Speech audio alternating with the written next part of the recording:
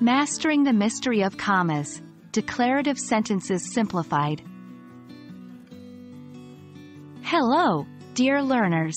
Today, we're going to dive deep into the world of commas and how to use them properly in declarative sentences. Commas might seem small, but they play an important role in shaping the meaning and clarity of our sentences.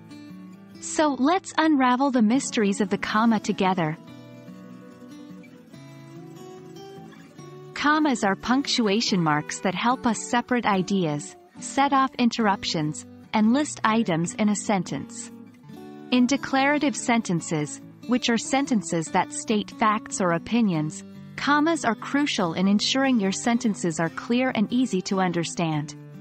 Declarative sentences are the most common type of sentences we use in English. For example, I enjoy learning English is a declarative sentence. One of the main uses of commas is to separate independent clauses, a clause that can stand alone as a sentence, in a compound sentence. When you connect two independent clauses with a coordinating conjunction like and, but, so, etc., you should place a comma before the conjunction. For example, I love reading books, but I also enjoy playing sports. Here, I love reading books, and I also enjoy playing sports, are both independent clauses, and the comma before, but, separates these two ideas. Commas also help us to set off interruptions in a sentence. An interruption could be a phrase, a clause, or just a word that interrupts the flow of the main clause. For example, English, however, isn't my first language. In this case, however, interrupts the flow of the main clause. By using commas, we set this interruption off for clarity and emphasis. Lastly, commas are widely used to separate items in a list.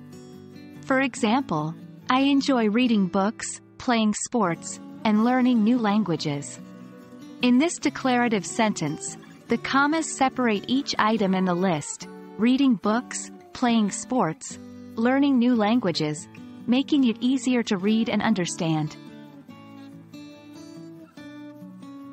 So that's a wrap on our journey with commas in declarative sentences. Remember, these small punctuation marks can make a big difference to the clarity of your sentences. Use them wisely to separate ideas, set off interruptions, and list items. Happy writing, and keep practicing to master the art of using commas in declarative sentences. I hope this video has been helpful, and I'm looking forward to our next learning journey together.